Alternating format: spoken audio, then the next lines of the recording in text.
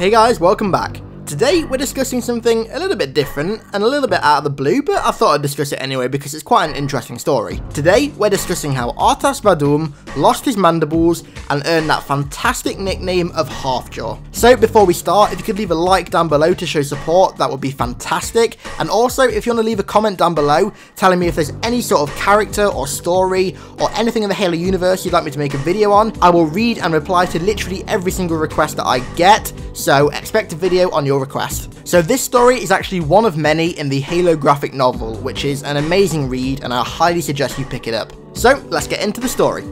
During the events of Halo Combat Evolved in 2552, Rtas 'Vadum served in the Covenant Special Operations Division as a Special Operations Commander of the Special Warfare Group. That's a lot of specials.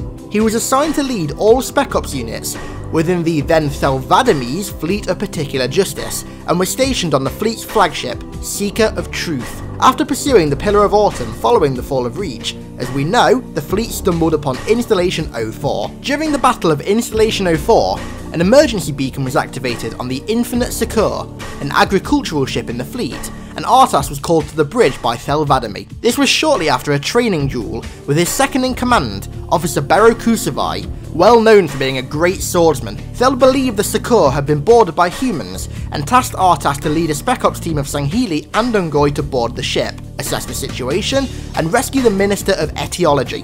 When aboard the ship, the team found the remains of Huragok and Unggoy, which made them question whether humans had actually caused it as they were never this barbaric. The team entered the hunting preserve and were attacked by animals infected by, yep, you guessed it, the Flood.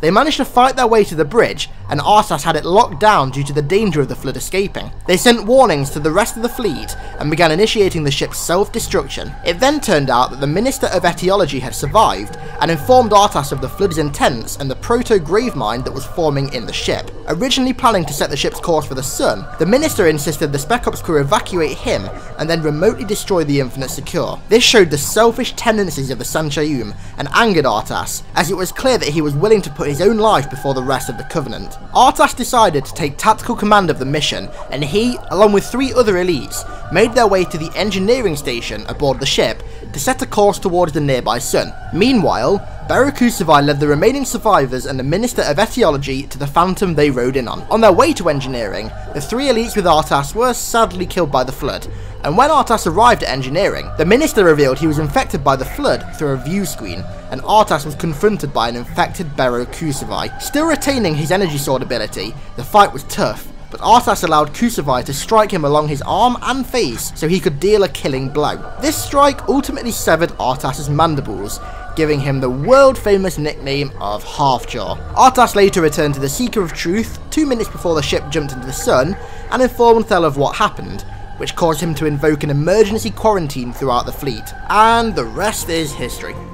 Thanks a lot for watching guys, I really hope you enjoyed. The next video, which should be uploaded over the next couple of days, will be a theory video about the future of Dr. Halsey.